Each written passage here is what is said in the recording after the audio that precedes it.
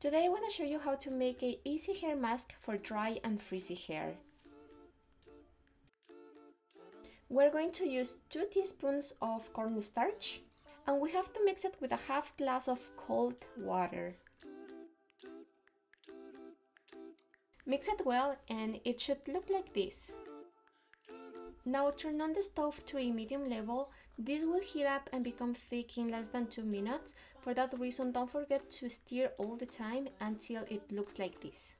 Now turn on the stove and then you can add 1 teaspoon of olive oil, coconut oil, avocado oil, whichever you prefer.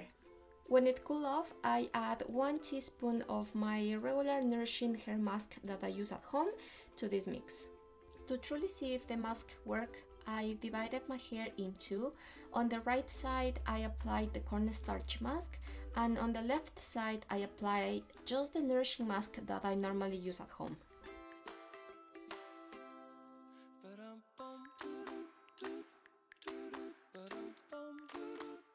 Then I let it sit for 20 minutes and then rinse it with water. I let my hair air dry and to stylish it I used a hair band so I can have a better curl.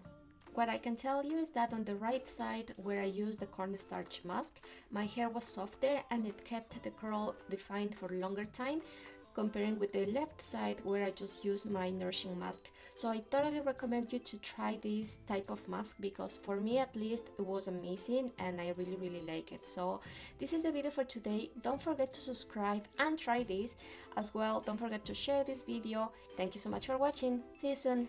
Bye!